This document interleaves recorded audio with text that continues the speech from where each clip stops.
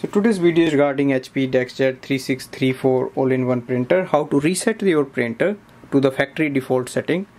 Now first step is to switch on the printer and load the A4 size sheets. Now go on the printer display panel and press and hold the power button and then press and hold the cancel button. After 3 seconds release the cancel button and release the power button and you will see the printer after after some time printer will send a command for the printing and it's doing the reset process. The printer will print a page and the page looks like this one. And once it is done that means your printer is reset. Thanks for watching